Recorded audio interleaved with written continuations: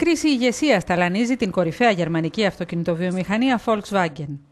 Το Εποπτικό Συμβούλιο της εταιρείας συναντάται την Πέμπτη για να εξετάσει με ποιο τρόπο θα μπορούσε να γεφυρωθεί το χάσμα μεταξύ του Διευθύνοντος Συμβούλου Μάρτιν Φίντερκορν και του Προέδρου της εταιρείας ισχυρού άνδρα της Volkswagen Ferdinand Piech, η οικογένεια του οποίου κατέχει το 50,7%. Οι διαφωνίες μεταξύ των δύο ανδρών είναι μεγάλες, καθώς ο πρόεδρος της εταιρείας αμφισβητεί την στρατηγική της Volkswagen στις Ηνωμένες Πολιτείες. Η μετοχή της Volkswagen διαπραγματευόταν την Πέμπτη στα 242,7 ευρώ.